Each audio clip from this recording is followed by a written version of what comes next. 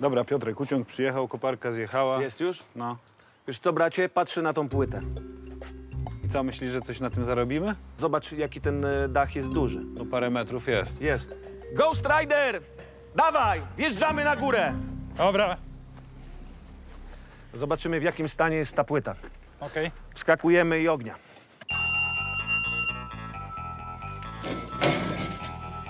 Dobra, startujemy. Śmiało, śmiało, dawajcie. Kręci tym bocianim gniazdem, że ho, ho, ho! Jak na statku. Ghost Rider na tej wysokości to delikatnie proszę. Dobra, dobra, spokojnie.